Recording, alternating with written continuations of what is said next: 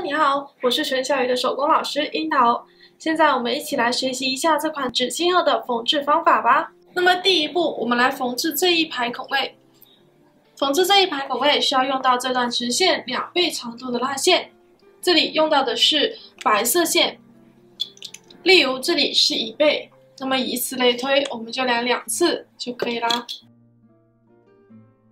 那么缝制用到的是一个双针缝法，就是我们线的这两头都要穿上一根针。首先把线的一边穿过针孔，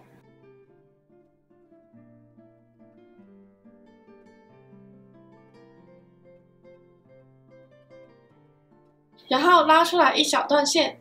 接着把线压在桌子上，这里呢，我是为了给大家方便拍摄，所以压在了皮上。大家记得不要压在皮上哦，不然的很容易戳到皮，有一个印子的皮上。然后用针穿过线的中间，再往上一拉，接着短线拉过针孔，再拉紧长线。那我们这一边就穿好了，另一边也是用同样的方法把它穿起来。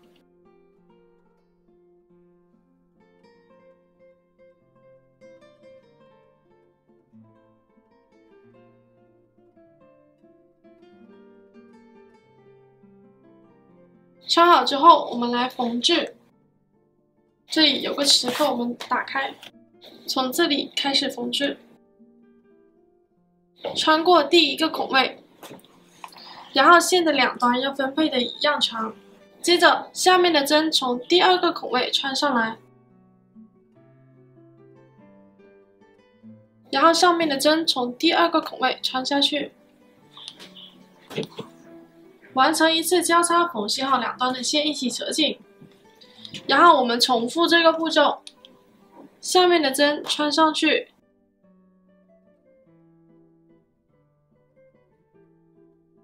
上面的针穿下去。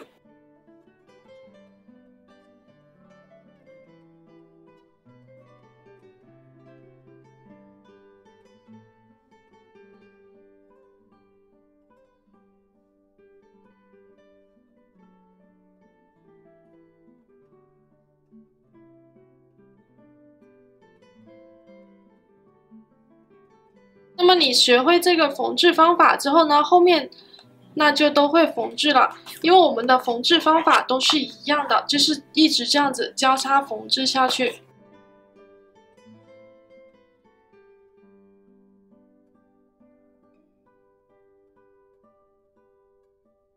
那这里面呢也是一样的，它是这样子，也是同样的这个这排线缝制下去。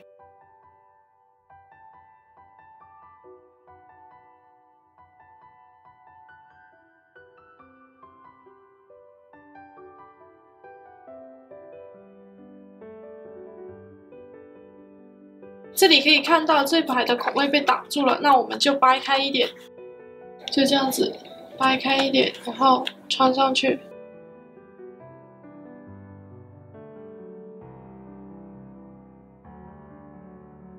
都在里面穿。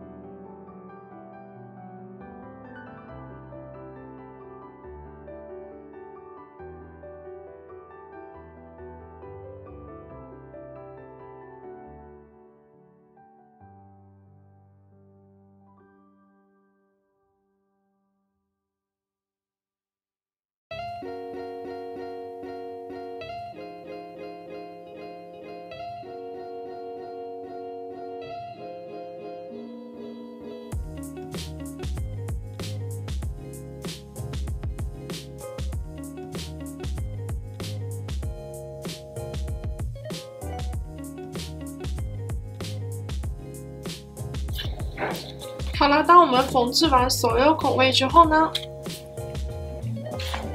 我们往这一边已经缝制过的地方倒回去缝两针收尾，就这样子倒回去。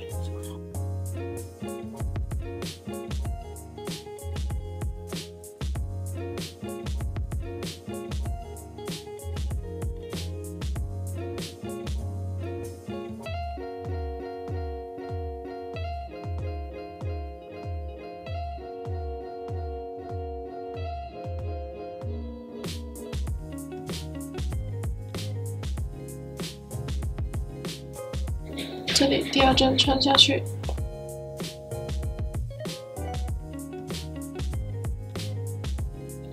好啦，我们就在这里收尾，用剪刀把拉线剪断，留出来一点线头，在这里留出来一段线头。这时候需要拿出一个打火机，所以我们打火机呢是需要自己准备的，这样打火机靠近。这个线头，它就会慢慢往回缩。注意，不是直接烧到它，是慢慢靠近，然后这个线头呢就会往回缩，然后再压平它。可以看到，就是这个样子。这里倒缝了两针，后面的缝制方法呢都是这样子交叉缝制的。像我们这个眉毛的地方都是这样子。尖的这一边向左边，这里向右边，把这里缝制上去。那么缝制一边需要用到这一段直线，一倍长、两倍长度的拉线。这里用到的是黑色线，可以看到量两倍的长度拉线。这里有两边需要缝制，所以我们量线的时候呢，量两段线。量好线、穿好针之后，我先给大家示范几针。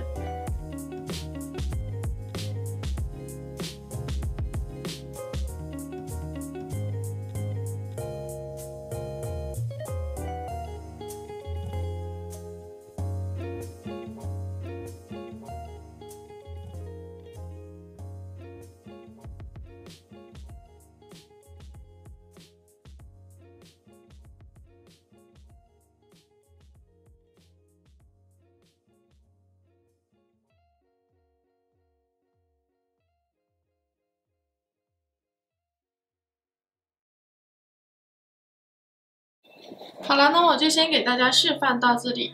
缝完所有孔位之后，倒缝两针收尾，跟这边一样的。这里也是同样的，把它缝制起来。缝完之后倒缝两针收尾就可以啦。这里缝制完成之后，我们来缝制这个鼻子，单独缝制。缝制这个这排孔位，用黑色线缝制。缝制这个部分呢，需要用到这一段直线，两倍长度的拉线。然后线，穿好针之后，我们就开始缝制吧。是，首先是这样子单独缝制的，就不需要加其他孔位一起缝，不需要加其他皮料一起缝制，就我们单独缝这个，交叉缝。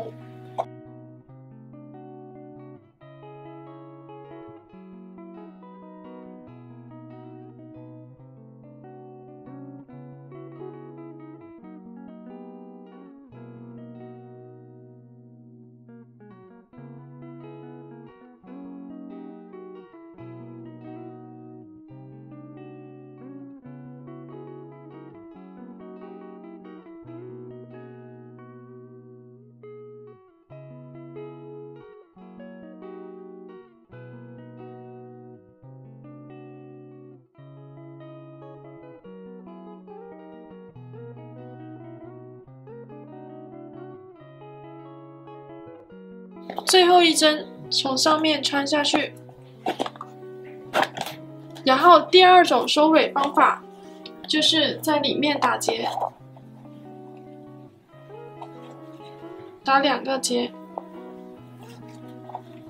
扯紧，接着把线剪断，留一点点线头，然后再用打火机烧一下，压平。注意烧的时候呢，尽量。不要把中间这个节点的地方把这个结烧断了，所以要轻一点，就烧旁边的这个。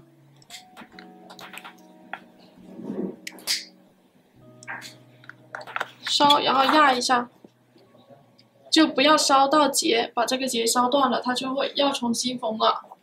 好了，那么这里呢就是这个样子。接着我们另外这个边也是用同样的方法把它缝制起来，是这样子。这边也一样。用这个方法把它缝制起来，然后打结收尾就可以了。这里我就不给大家示范了，一共是有六条需要缝制的。缝制一条需要用到这一段直线一点五倍长度的拉线，这段直线一点五倍长度的拉线，这个部分就缝制完成了。接下来我们把鼻子这里也缝制上去，这里用到的是白色线。这段直线一倍长度的拉线就可以了，一倍，然后把它缝制起来。这里呢，直接缝两倍，直接缝两次线。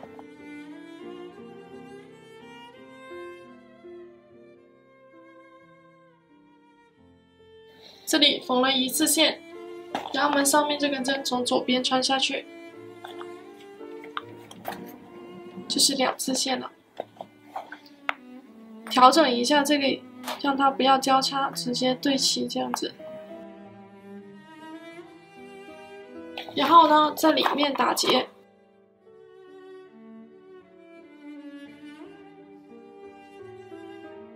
打结收尾。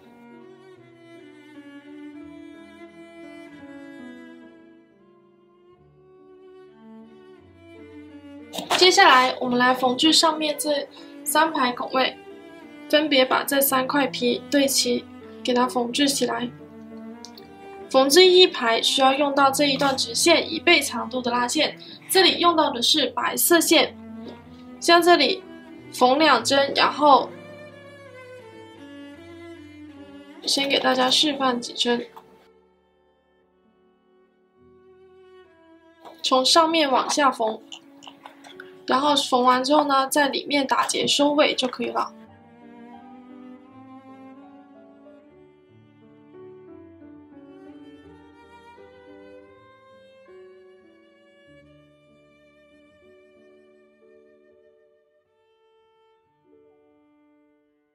这里穿到里面，然后打结收尾。打结收尾这个部分呢，我就不给大家示范了，大家就按照前面我教的方法来打结收尾就可以了。这里也是同样的，这样缝制这一排，缝制起来，我就不给大家示范喽。那么这个地方缝制完成之后，我们缝制最后这一圈孔位。缝制这一圈孔位呢，需要用到这一段直线十三倍长度的拉线。那么十三倍长度的拉线呢，实在是太长了，缝制起来也不方便，所以呢，我们分成两段线。然后分开缝制，就是分成两段线来缝制。首先，我们就是从缝制上面这里，从中间这一个大孔开始缝制。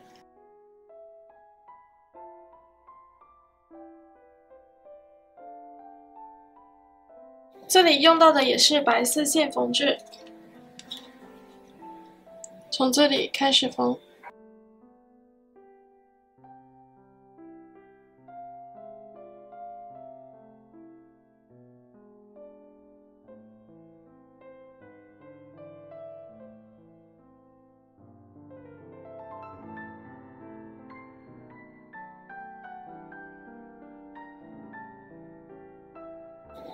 直这样子交叉缝制下去。这里呢，我就先给大家示范到这里。那么我们缝制完这里，缝制到这个大孔这里呢，需要加进这块皮一起缝，这样子加进来一起缝制的。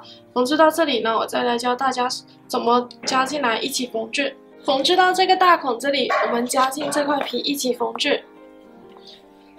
这里第一个孔位对平这个大孔。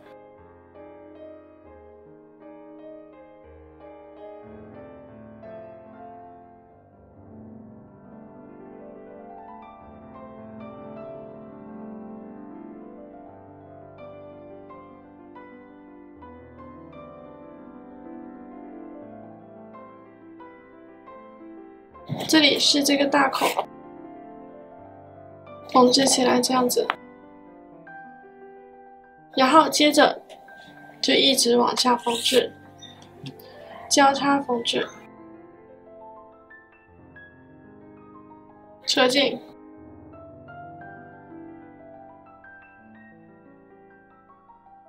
就沿着这里一直交叉缝制下去就可以了。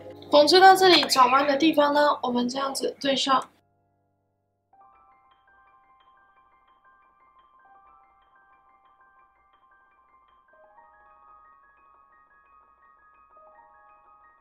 然后这里弯过来，对上下一个孔位。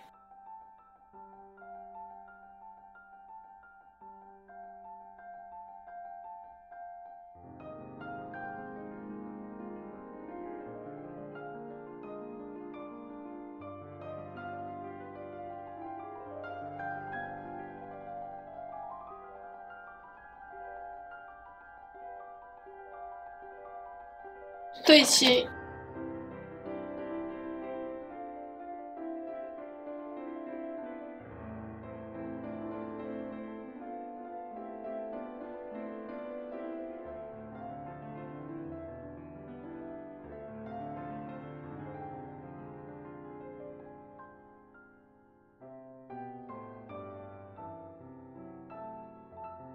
孔位一定要扯紧哦，这样子。然后接着往下缝就可以了，交叉缝制，缝制到这一边呢，也是跟这里一样的，中间穿一个孔，然后再接下一个孔，这边也一样，这里有一个大孔，底部这里一个大孔是对齐的，然后接着就这样子，一直往这一边缝制，一直缝制，然后这边中间这个大孔也是单独缝制。完了，一直缝制到这里中间的孔位呢，倒缝两针收尾，然后呢，再接上另外一段线。因为刚刚我已经跟大家说过了，一整段线缝制的话太长了，我们已经分成了两段线缝制，所以呢，我们从这里中间这里大孔倒缝两针收尾，再接上另外一段线，一直缝制完所有孔位。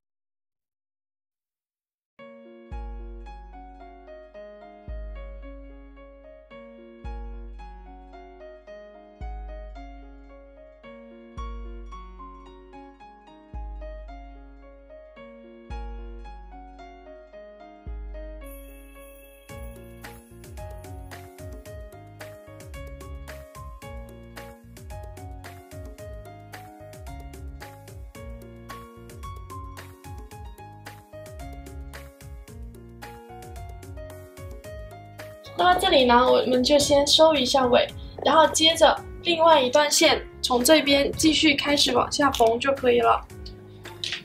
记得缝侧边的时候呢，缝到这个大孔，我们要加进来这一块皮一起缝。这里第一个孔位刚好是对平这个大孔的位置的，就像这边一样。